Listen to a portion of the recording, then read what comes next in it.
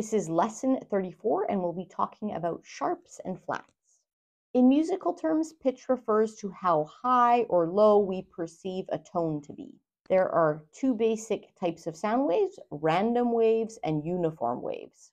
We perceive random waves as indefinite pitches or noise, and we perceive uniform waves as definite pitches or musical tones. In Western music, we refer to specific uniform waves or musical tones by letter names. We learn that the musical alphabet consists of just seven basic letter names A, B, C, D, E, F, G. A, B, C, D, E, F, G, A, B, C, D, E, F, G. We just continue to repeat that. If we are ascending or getting higher in pitch, we go through that alphabet forwards, A, B, C, D, E, F, G. If we're descending or getting lower in pitch, we go through that alphabet backwards, G, F, E, D, C, B, A. The composer represents specific musical pitches on the staff by placing note heads on and above and below the musical staff. So a note placed on space one will have a different pitch or musical tone than a note placed on, say, space four, provided they're both written in the same musical clef. Returning to Jay Althouse's Ready to Read Music, we're on Unit 3, which is our pitch unit, Lesson 5, Sharp and Flat. Sometimes you will see a musical symbol before a note on the staff, like this or like this. This musical symbol is called a sharp.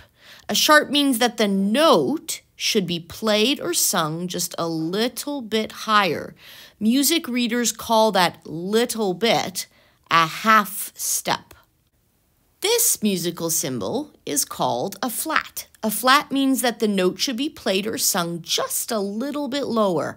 Music readers call that little bit a half step.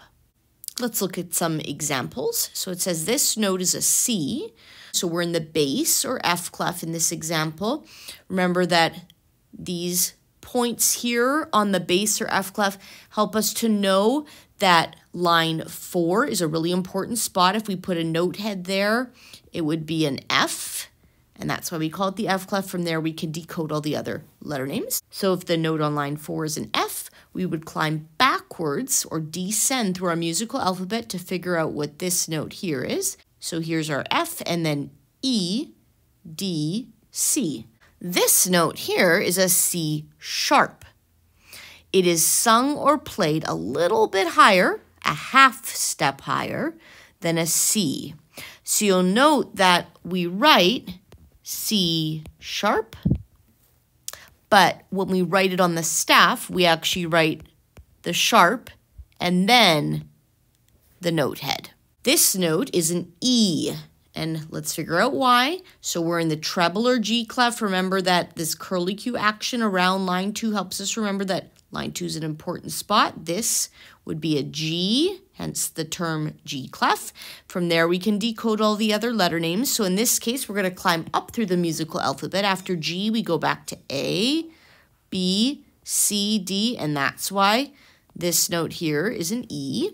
This note is an E flat. It is sung or played a little bit lower, a half step lower than an E. So notice again, when we write it in English, we write it E and then the flat sign following it, E flat. But when we write it in musical notation, we write the flat sign right before the note head. Here's how to draw a sharp. So we put two lines going down and you notice they're just a little bit offset. So the second one's just one hair higher. And then we slant these lines just a little bit this way. So it really is like a sloped tic-tac-toe, basically. when a sharp is placed on a staff line, it looks like this. So just like our note head always went right over the line when it's a line note, so will our sharp sign. So our sharp sign will always go right over top so that the middle of the tic-tac-toe is right over top of that line. When a sharp is placed in a staff space, it looks like this. So just like with our note heads, when we made sure that our space notes were right between two lines, that's what we'll do with our sharp as well. The tic-tac-toe center will go right in that space.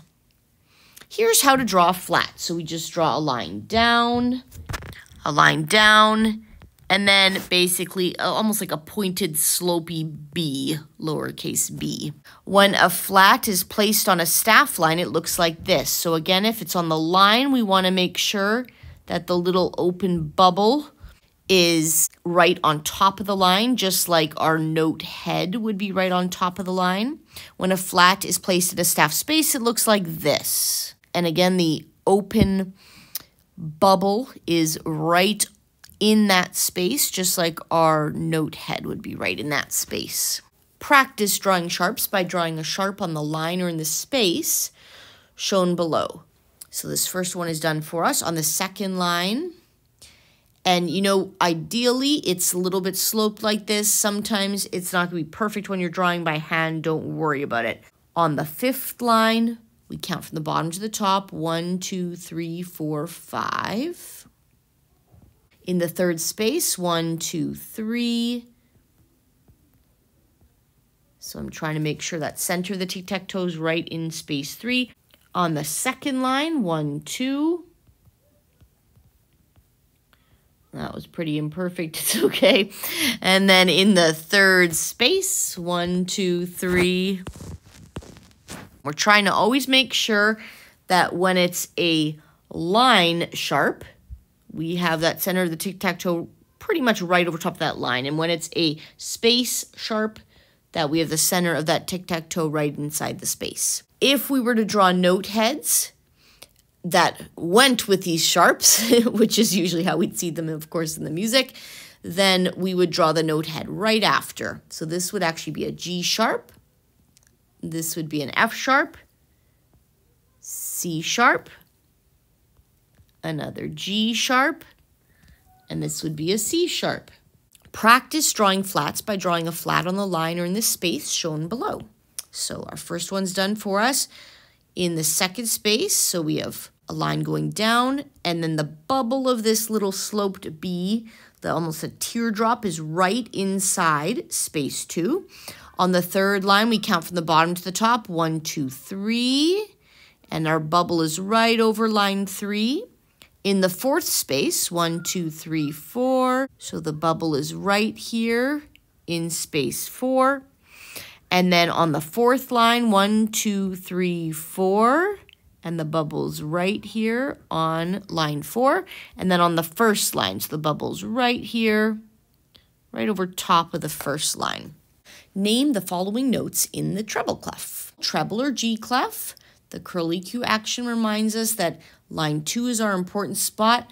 Any note placed there will be a G, and from there we can decode all the other letter names that are on and above and below the staff. Our very first note is a G because it's on line 2. And we see a sharp. We're going to write G sharp. For the next note, we need to climb up the musical alphabet. So G, A, B, C. This will be a C and it'll be a C sharp. When we're writing it out with a letter name, we put the sharp after the letter. We need to go back down. So let's start on our G again. We'll go backwards through the musical alphabet. F, E, D. And so this will be a D flat. Remember that? D flat will be a half step lower, so just slightly lower than a regular D. The flat lowers the note by a half step. Starting at our G again, let's climb up A, B, and this is a B flat, so this B flat would be a half step lower than our B. We have a ledger line above the staff, so let's keep going. We're going to go C, D, E, F, G, and our first ledger line will be an A flat.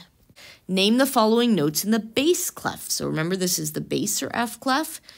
These dots here indicate that line 4 is a very important spot. Any note placed there will be an F. From there, we can decode all the other letter names.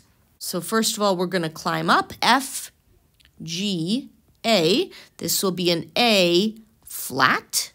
We're going to descend through our musical alphabet now, starting at F again, E, D, C, B, a, and this will be an A flat. Notice these two A's are one octave apart. So there are eight letter names between those two notes.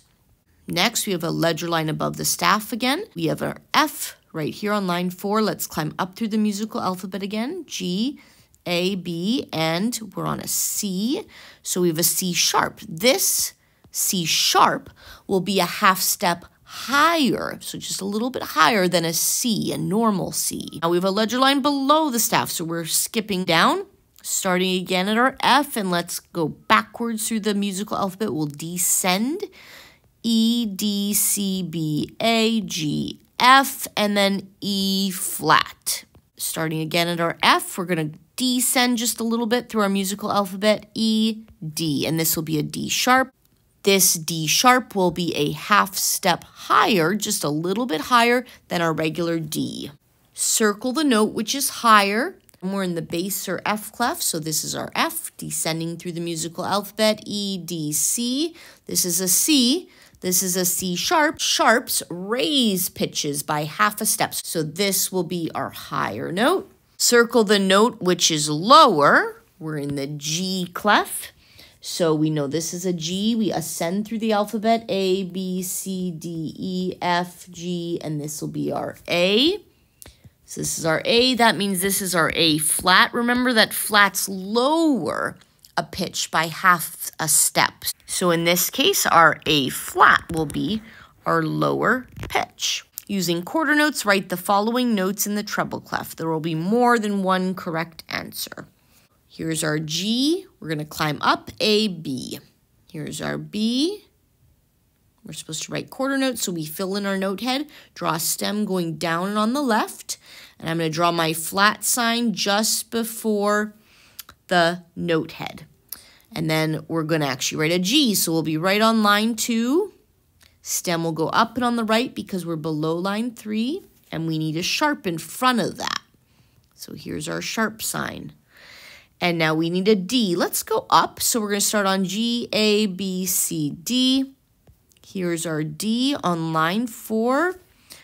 Stem goes down on the left. Then we just put our flat symbol right in front of that D. This will be a half step lower in pitch than a regular old D. We can keep climbing up now. Let's go to E, F.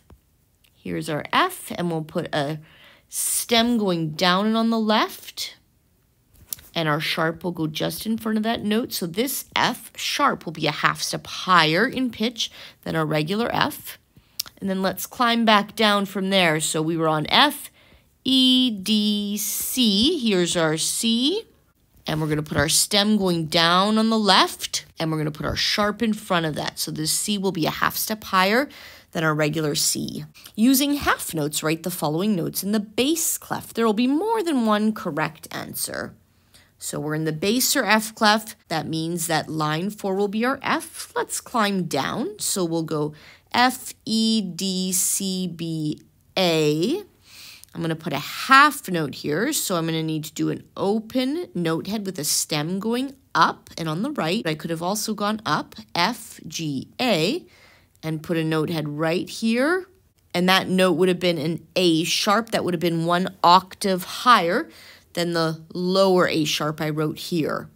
D sharp is next, so F, backwards through the alphabet, descending, E, D, open note head, stem going down and on the left, and our sharp will go in front of the note on the staff. Next is a G flat. We're going to start on our F again and just climb up to the next space for the next letter name, and this will be our G. Stem goes down and on the left, because we're above line three, and then our flat goes right in front of that note head. So this is a G flat, a half step lower in pitch than a regular G. Let's start on our F again and descend to the very next space note, to the next letter name. So here's our E, and we're going to put a flat in front of that. And then lastly, a C. So starting on our F, descending through the musical alphabet, E, D, C. Here's a C we can use. Stem goes up and on the right because it's below line three. And then our sharp goes right in front of that. This C sharp would be a half step higher in pitch than a regular C.